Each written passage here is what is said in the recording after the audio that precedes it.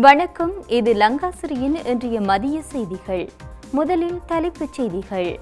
ரணிலின் செயற்பாடு அதிருப்தியில் மக்கள் சுமந்திரன் வெளியிட்ட தகவல். கோட்டாவின் முட்டாள்தனமான தீர்மானத்தை நீக்கிய நீதிமன்றம் கிருணிகா சுட்டிக்காட்டு. அரசாங்கத்தை வீழ்த்தியதனால் மக்கள் இன்று கஷ்டப்படுகின்றனர். அகிலவிராஜ் சுட்டிக்காட்டு. சுமித் சில்வா குறித்து சிறைச்சாலை ஆணையாளர் வெளியிட்ட தகவல். மக்களே அவதானம் நான்கு மாவட்டங்களுக்கு விடுக்கப்பட்டுள்ள எச்சரிக்கை. மொட்டு கட்சியின் ஜனாதிபதி வேட்பாளராக ரணிலுக்கு வாய்ப்பு. நாமல் ராஜபக்ச அதிரடி.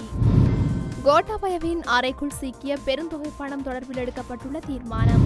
ஏவுகணை தாக்குதலால் ஈரான் பாகிஸ்தானுக்கிடையில் ராஜதந்திர போர். தொடர்பன விரிவான செய்திகள்.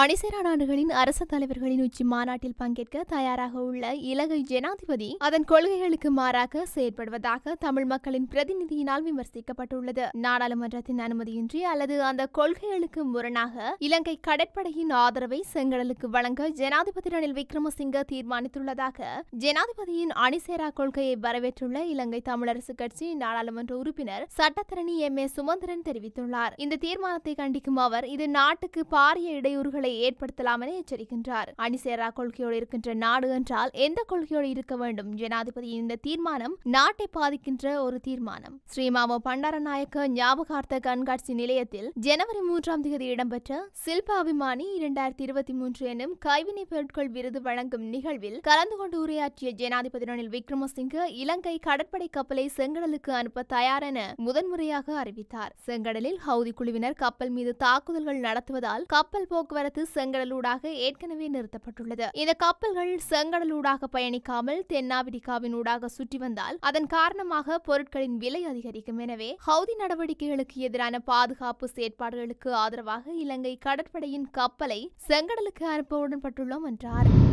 பாரத லக்ஷ்மண் பிரேமச்சந்திர கொலை வழக்கில் மரண தண்டனை விதிக்கப்பட்ட முன்னாள் நாடாளுமன்ற உறுப்பினர் சுமிந்த சில்வாவுக்கு ஜனாதிபதி பொது மன்னிப்பு வழங்கிய முன்னாள் ஜனாதிபதி கோட்டபாய ராஜபக்சவின் தீர்மானம் செல்லாது என உச்சநீதிமன்றம் அறிவித்துள்ளது. என் தந்தை விடயத்தில் கொழும்பு உயர்நீதிமன்றம் வழங்கியுள்ள தீர்ப்பு வரலாற்று முக்கியத்துவம் வாய்ந்தது என முன்னாள் நாடாளுமன்ற உறுப்பினர் ஹிருணிகா பிரேமச்சந்திர தெரிவித்துள்ளார். கடந்த இரண்டாயிரத்தி பதினோராம் ஆண்டு முன்னாள் நாடாளுமன்ற உறுப்பினர் பாரத லட்சுமண் பிரேமச்சந்திர படுகொலை செய்யப்படாமை தொடர்பில் முன்னாள் நாடாளுமன்ற உறுப்பினர் சுமிந்த சில்வாவுக்கு பொது மன்னிப்பு வழங்கிய முன்னாள் ஜனாதிபதி கோட்டபாய ராஜபக்சவின் தீர்மானம் தன்னிச்சையானது என்று உயர்நீதிமன்றம் அறிவித்துள்ளது. மேலும் குறித்த தீர்மானம் சட்டத்துக்கு புறம்பானது என்றும் தீர்ப்பளித்துள்ளது. இதுகுறித்து ஹிருணிகா பிரேமச்சந்திர கருத்துரைக்கும் போதே மேற்கொண்டவாறு கூறினார். இது தனி மனித வெற்றியல்ல முழு நாட்டின் வெற்றி உண்மை ஒரு நாள் நிச்சயம் வெல்லும் என்று அவர் குறிப்பிட்டார். கோட்டபாய ராஜபக்சவின் முட்டாள்தனமான தீர்மானத்தை உயர்நீதிமன்றம் சுட்டிக்காட்டியுள்ளது. பொது மன்னிப்பு அதிகாரத்தை எதிர்கால ஜனாதிபதிகள் துஷ்பிரயோகப்படுத்தக்கூடாது என்பதற்கு உயர்நீதிமன்றத்தின் தீர்ப்பு சிறந்த எடுத்துக்காட்டு எனவும் கிருணிகா பிரேமச்சந்திரன் மேலும் தெரிவித்தார்.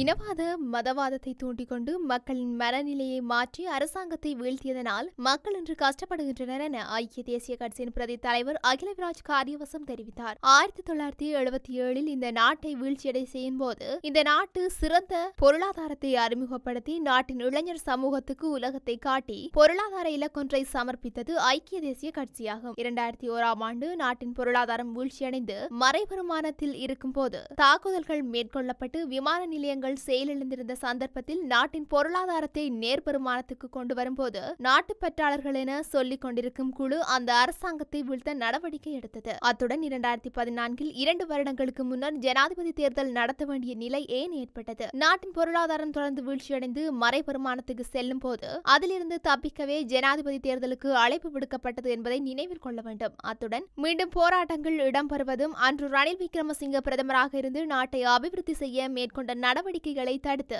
நிறுத்த மேற்கொண்ட நடவடிக்கையே தற்போதும் ஆரம்பிக்கப்படுகின்றது. மக்கள் இதனை புரிந்து கொள்ள வேண்டும். நல்லாட்சி அரசாங்க காலத்தில் ரணில் விக்ரமசிங்க முன்னெடுத்த வேலை திட்டங்களை இறுதி வரை கொண்டு செல்ல முடிந்திருந்தால் இன்று நாடு இந்த நிலைக்கு வந்திருக்காது என்றாலும் அந்த வேலை திட்டங்களை முன்னெடுக்க நமக்கு இடமளிக்கவில்லை. இனவாத மதவாதத்தை தூண்டிக்கொண்டு மக்களின் மனநிலையை மாற்றி அரசாங்கத்தை வீழ்த்தியதனால் மக்கள் இன்று கஷ்டப்படுகின்றனர். தேர்தலில் நாங்கள் தோல்வியுற்றாலும் நாடாளுமன்றத்தில் ஒரு ஆசனம் இருந்தாலும் இல்லாவிட்டாலும் எமது கொள்கையில் மாற்றமில்லை. அவ்வாறு கொள்கையை மதிக்கின்ற தலைவர் ஒருவர் இருக்கின்ற கட்சி என்ற வகையில் நாங்கள் பெருமை அடைகின்றோம் என்றார். முன்னாள் நாடாளுமன்ற உறுப்பினர் ஆர் துமிந்த சில்வா தற்பொழுது கொழும்பு ஸ்ரீ ஜெயவர்த்தனபுர வைத்தியசாலையில் சிகிச்சை பெற்று வருவதாக தெரிவிக்கப்படுகின்றது. சிறைச்சாலைகள் ஆணையாளர் நாயகம் காமினி பி திசாநாயக்க இந்த விடயத்தை தெரிவித்துள்ளார். மருத்துவ நிபுணர்களின் பரிந்துரைக்கு அமைய துமிந்த சில்வா வைத்தியசாலையில் அனுமதிக்கப்பட்டுள்ளதாக அவர் தெரிவித்துள்ளார். முன்னாள் நாடாளுமன்ற உறுப்பினர் பாரத லட்சுமண் பிரேமச்சந்திர உள்ளிட்டவர்கள் படுகொலை செய்யப்பட்ட வழக்கில் துமிந்த சில்வாவிற்கு மரண தண்டனை விதிக்கப்பட்டது. இதனைத் தொடர்ந்து முன்னாள் ஜனாதிபதி கோட்டபாய ராஜபக்ச துமிந்தவிற்கு பொது மன்னிப்பு வழங்கியிருந்தார். எனினும் பொது மன்னிப்பு வழங்கப்பட்டமை சட்ட ரீதியல்ல என நேற்றைய தினம் நீதிமன்றம் தீர்ப்பு வழங்கியிருந்தது. இந்நிலையில் சிறைச்சாலை அதிகாரிகளின் பாதுகாப்பின் கீழ் துமிந்த சில்வா ஸ்ரீ ஜெயவர்த்தனபுர வைத்தியசாலையில் சிகிச்சை பெற்று வருகின்றார். துமிந்த சில்வாவின் உடல்நிலை குறித்து மருத்துவ நிபுணர்களின் பரிந்துரையை கோர உள்ளதாகவும் அவர்கள் பரிந்துரைத்தால் துமிந்த சிறைச்சாலைக்கு மாற்றப்படுவார் எனவும் சிறைச்சாலை ஆணையாளர் நாயகம் தெரிவித்துள்ளார். நாட்டின் பல பகுதிகளில் காற்றின் தர சுட்டன் குறைந்து வருவதாக மத்திய சுற்றாடல் அதிகார சபையின் சிரேஷ்ட அதிகாரி தெரிவித்துள்ளார். சுவாச நோய்கள் மற்றும் அதனுடன் தொடர்புடைய நோய் நிலைமைகள் உள்ள மக்கள் முகக்கவசங்கள் அணிவது பாதுகாப்பானது என்று அவர் மேலும் குறிப்பிட்டுள்ளார். நாட்டின் காற்று மாசடைவதற்கு வங்களா விரிகுடா போன்ற பிற நாடுகளின் வெளிப்பகுதிகளில் இருந்து வரும் மாசடைந்த காற்றே காரணம் என்று தெரிவிக்கப்படுகின்றது. காற்றுடன் வரும் பல்வேறு வகையான காற்று மாசுபாடுகளால் நாட்டின் காற்றின் தரம் குறைந்துள்ளது. இந்நிலையில் பொதுவாக மிகவும் சிறியது மற்றும் குறைந்தபட்சம் அந்த பகுதியில் உள்ள மக்களின் ஆரோக்கியத்தை பாதிக்கலாம். கொழும்பு காலி யாழ்ப்பாணம் ஆகிய முக்கிய மாவட்டங்களிலும் மன்னார் பகுதியிலும் காற்றின் தர குறியீடு குறைந்து வருவதாக எச்சரிக்கப்பட்டுள்ளது. இதனால் குறித்த பகுதியில் உள்ள மக்கள் அவதானத்துடன் இருக்குமாறு கேட்டுக் கொள்ளப்படுகின்றனர் எதிர்வரும் ஜனாதிபதி தேர்தலின் போது மொட்டு கட்சி சார்பில் போட்டியிடுவதற்கான வாய்ப்பு ரணில் விக்ரமசிங்கவுக்கு இருப்பதாக பொதுஜன பெரமுனவின் நாடாளுமன்ற உறுப்பினர் நாமல் ராஜபக்ச தெரிவித்துள்ளார். தற்பொழுது மொட்டு கட்சியின் சார்பில் ஜனாதிபதி தேர்தலில் களமிறங்குவதற்கான நான்கு வேட்பாளர்களின் பெயர்கள் பரிசீலனையில் உள்ளது. குறித்த நான்கு பெயர்களில் தற்போதைய ஜனாதிபதி ரணில் விக்ரமசிங்கவின் பெயரும் உள்ளது. கடைசி நேரத்தில் இந்த பட்டியலில் பெயர் இல்லாத புதிய நபர் ஒருவர் கூட களமிறக்கப்படலாம். எவ்வாறாயினும் ஜனாதிபதி தேர்தலில் வெற்றி பெறக்கூடிய ஒருவரே வேட்பாளராக நியமிக்கப்படுவார். அதன் காரணமாக வேட்பாளர் குறித்து கவலைப்பட தேவையில்லை. வேட்பாளர் யார் என்பது முக்கியமல்ல. வெற்றி பெற முடியுமா என்பதுதான் முக்கியம். ஏனெனில் எமது பிரதிநிதி முகாமை வெற்றி பெற செய்ய வேண்டியது அவசியமாகும். அத்துடன் எங்களது அரசியல் முகாமுக்கு வெற்றியை தரக்கூடிய பலம் கொண்டுள்ள எந்த கட்சி அல்லது சக்தியுடன் வேண்டுமானாலும் பேச்சுவார்த்தை நடத்தப்படவுள்ளது. மேலும் ஸ்ரீலங்கா பொதுஜன பெரமுனவை மறுசீரமைப்பதற்காக கிராமிய மக்களை தெளிவூட்டும் வேலை திட்டமும் நடைமுறைப்படுத்தப்பட்டுள்ளது என குறிப்பிட்டுள்ளார்.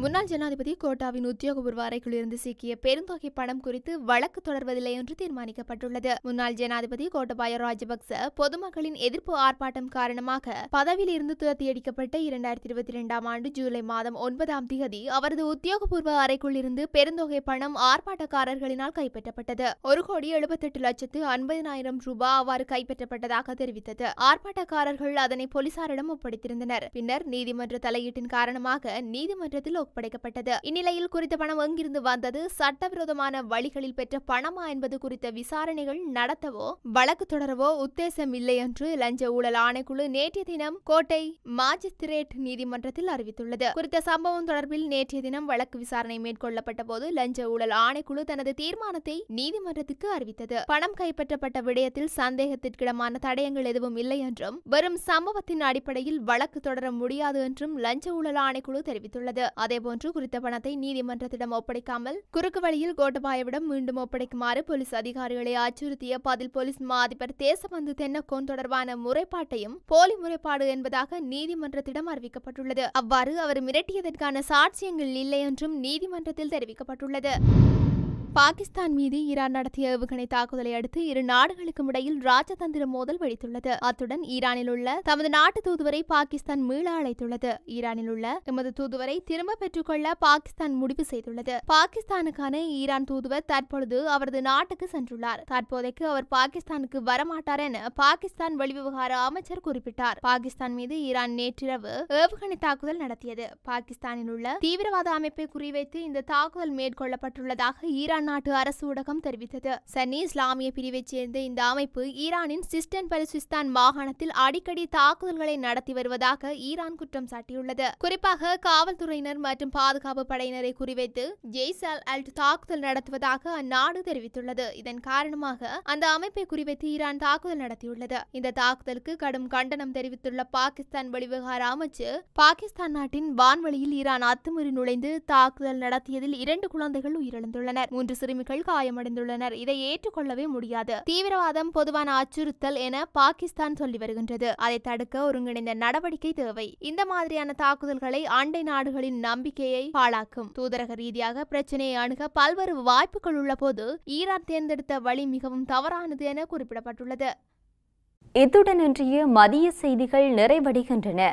தொடர்ந்தும் செய்திகளை அறிந்து கொள்ள லங்காசிரி தமிழ் நியூஸ் என்ற எமது யூடியூப் பக்கத்தினூடாக இணைந்திருங்கள். நன்றி.